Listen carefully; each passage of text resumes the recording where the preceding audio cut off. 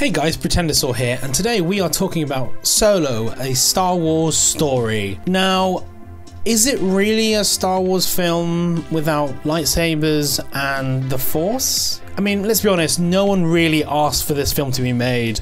Part of Han Solo's allure is we kind of hint at his past, but we see how that past has affected him now, and we see him as a charming scoundrel. He appears to be this morally indecisive character, but actually he always stands up for the good guys and the guys who are downbeat. And that's a big part of why we like Han, so learning how we got here is probably really low down on a lot of people's lists. And to be honest, the film starts starts out really slowly. Young Han Solo isn't particularly charismatic or fun, and so the way the film starts out is you're supposed to care about this protagonist, you're supposed to care about how he's escaping from the cops and escaping from his upbringing, but because he isn't particularly interesting or likable yet, that first part of that film, the first act, is actually quite hard to swallow. But as he starts collecting the little elements of his personality, and they're dotted throughout the film, you see him grow, and you almost literally see him pick up these individual steps in his personality, it starts to become really, really fun. And I think ultimately that's how you should approach this film. I kind of went in going, mm, is this going to be Star Wars enough for me? But once you kind of put that to the side and you just sit there and take it for what it is a really fun kind of action film set in the Star Wars universe everything kind of falls into place a little easier. I actually don't know anything about Han's actual origin story. I've not read any of the books. The films obviously don't really go into it that much. And there's a large part of it um, in this film where he, you know, goes to the army and does all that. I didn't like the army section. I thought that was a little throwaway. I get, you know, narratively he has to meet Barrett, Woody Harrelson's character, somehow. I just feel like that is never really spoken about before in Han's life. I much prefer a story where he discovers who he is through the smuggling and from those really like downbeat beginnings as opposed to being enlisted in the army. But I mean, it's not the biggest crime in the world. And his story with the group is really, really strong. Because you know where the film starts and where it's going to end, the success of the film lies in how it draws the line between the two. And even though I wouldn't have agreed with all the other parts of those twists and turns, turns, the whole thing does feel very, very sensible. I loved how they canonified the Kessel Run from being, you know, 12 parsecs being a time, which obviously clearly it isn't, from picking up unrefined hyperfuel to then going and refining it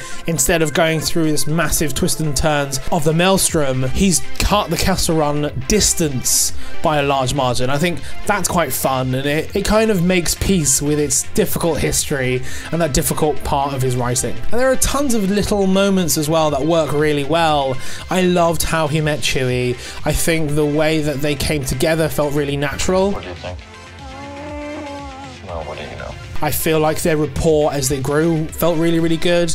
Obviously, the fact that, you know, Chewbacca never really says anything that we can understand, and it's all told through Han Solo, it's always really fun to see that dynamic very, very early on. I think Woody Harrelson's character is really, really fun.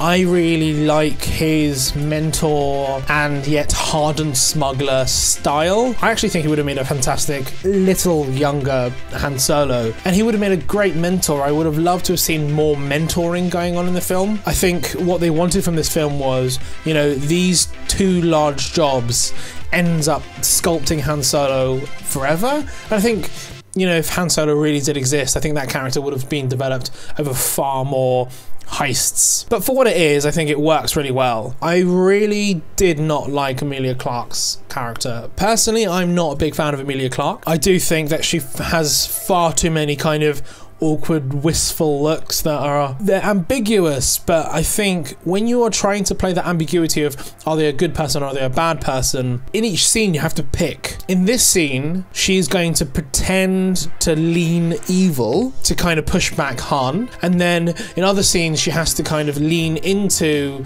Han and her old life. And I feel like in those scenes that, you know, build up the ambiguity. Instead, we have what feels like indecision. And I think that is just, for me anyway, down to her performance as opposed to the writing of the character. I also really didn't like Emilia Clarke's character when she kept saying, You don't know what I've been through.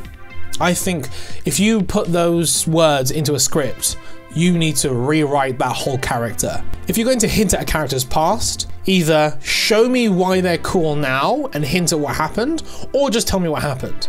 Don't do this thing where you're playing with the audience and saying, oh, you don't know what I've been through, but then be too lazy to actually write it. Also, the villain was quite weak.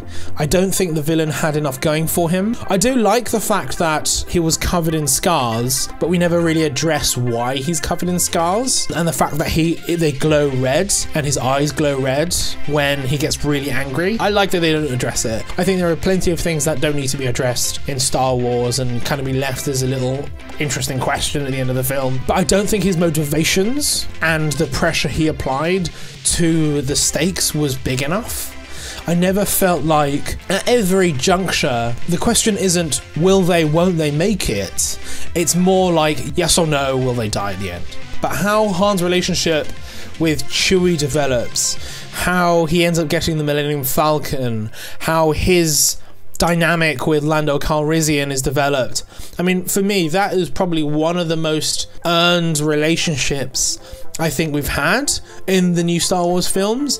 It felt really genuine on their kind of tit for tat kind of cocksureness. Han Solo as well, I can't remember his name, but he is fantastic. He's really, when he's fully Han, he does that kind of fake cocksure smile when he's got absolutely nothing to be sure about, but he's kind of bluffing anyway. He pulls that off really, really well. And I think definitely as he progresses through the film, he starts to really channel that Harrison Ford kind of feel. I think the ending of the film leaves us at a really interesting point of the Star Wars new universe. They had laid a lot of groundwork here for what seems like a possible sequel. We have Barrett's daughter, who's a leader of some sort of rebellion or joining a rebellion and we have the Crimson Dawn, who haven't really been mentioned in any other media, so I'm not sure whether they're going to go for that, whether Emilia Clarke's character is going to play a big role in that. And obviously, we had Darth Maul, so I don't know if they want to then transplant him into the main storyline. Han Solo was obviously only going to really exist as a separate entity. Will they then tie off some of the strands into the main story to kind of bring it all together? I don't know. And for me personally,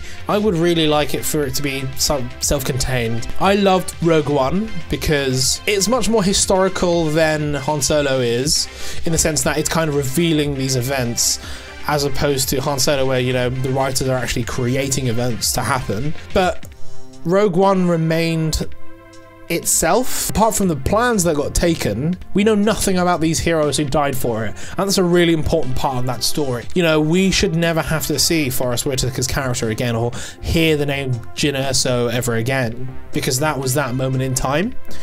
I don't know if we should see a lot of the other characters from this moment in the new films, but knowing that Disney now own this property, it's more than likely going to happen, especially with these films where so many of the characters could go on their own storyline or at least have some part in the main story. But we'll see. So, what do you think about the solo film? Do you think they're going to move parts of that film into the main film? Did you enjoy it? Did you like the history that they made for Han Solo? Let me know down in the comments down below. If you like the video, don't forget to hit that like button, subscribe if you're new, and I'll see you guys next time. Bye bye.